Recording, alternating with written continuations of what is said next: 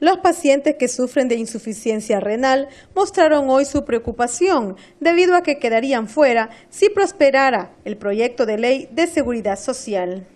Decirle a todo el Congreso, pues la desunión que tiene entre ellos mismos que nos están llevando de acuerdo a las enfermedades crónicas. Nos da temor porque dentro de la ley marco está establecido un tratamiento completamente gratis para todas las enfermedades crónicas.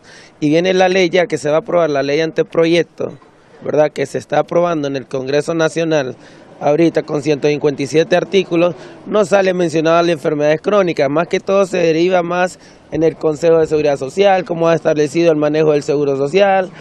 Según el proyecto de ley, todos los pacientes con enfermedades crónicas quedarían fuera de la cobertura de tratamientos enfermedades crónicas como el cáncer, como otro tipo de enfermedades. Nos da pesar que este tipo de diputados estén divididos entre ellos mismos, ¿verdad? Entonces se formó una comisión la comisión no le toman en cuenta en nada y da lástima que nosotros con ellos reunidos y quien estaba tomando las determinaciones de la ley de salud era la abogada Vilma Morales, el licenciado Ley Celar, la rectora.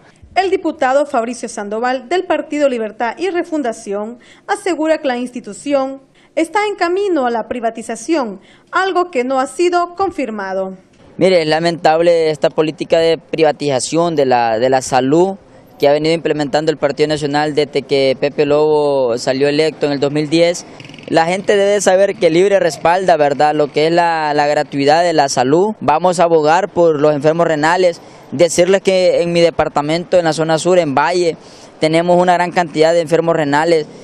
Son alrededor de 3.000 a 5.000 enfermos renales a nivel nacional, que esperan se respete lo que dice la Constitución de la República en su artículo 142 que establece que toda persona tiene derecho a la seguridad de sus medios económicos de subsistencia en caso de incapacidad para trabajar u obtener trabajo retribuido.